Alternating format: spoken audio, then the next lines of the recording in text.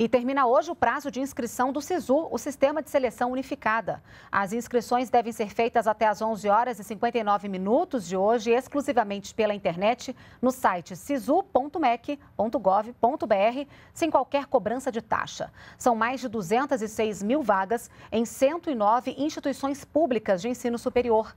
O resultado está previsto para sair na sexta-feira, dia 16 de abril.